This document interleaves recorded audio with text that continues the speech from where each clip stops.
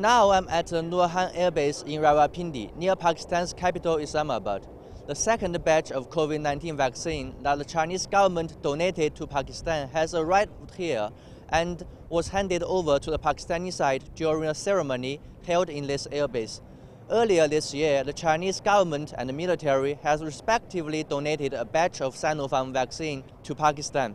Pakistan is the first country that received the Chinese government provided COVID-19 vaccine aid and the Pakistani army is also the first foreign military that received COVID-19 vaccine aid from the Chinese military.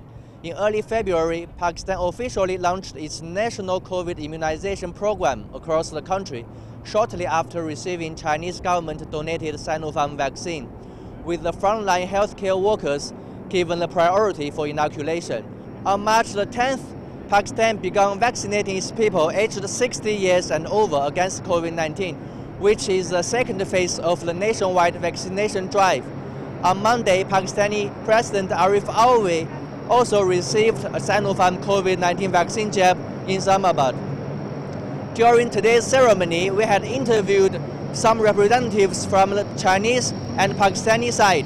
中马关系啊是全天候的啊战略合作伙伴关系， 在这个全天候战略合作合作伙伴关系下面，我想疫苗合作应该是我们的重点。在很短的时间啊就进行了两批次的啊这个疫苗政府方面的疫苗援助啊也取得了非常好的效果啊。我们也希望这个巴基斯坦的这个呃疫苗的接种工作啊能够平稳有序的开展。为这个巴基斯坦的这个呃疫情啊啊疫情的缓解啊，乃至于这个进展的更好，做出更大的贡献。This will be a very crucial and important uh, um, uh, tool in making sure that we can get to the next phase of vaccination. I think this is this is evidence of the great love and friendship between China and Pakistan. We are extremely grateful to China, uh, not only for giving the vaccine, but give the vaccine as a donation, as a gift.